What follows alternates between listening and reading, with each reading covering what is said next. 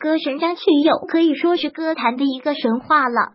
如今的香港四大天王，到如今演唱会场场爆满，可见学友大哥在歌迷心中的地位有多么重要。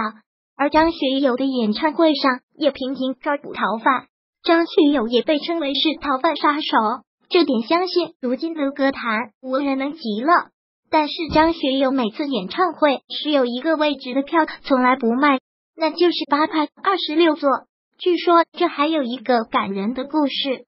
很多年以前，张学友开演唱会的时候，有一个喜欢他歌声的女粉丝不幸身患重病，不久将离开人世。而当时这个粉丝最大的心愿就是想去看一场张学友的演唱会，而他一直与病魔抗争着。只可惜演唱会那天，这个女孩子却没有来。因为他已经永远的离开了人世。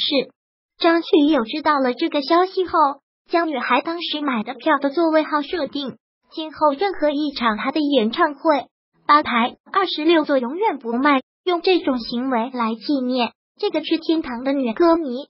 如果喜欢本视频，请分享并订阅本频道，别忘了按赞哦！A O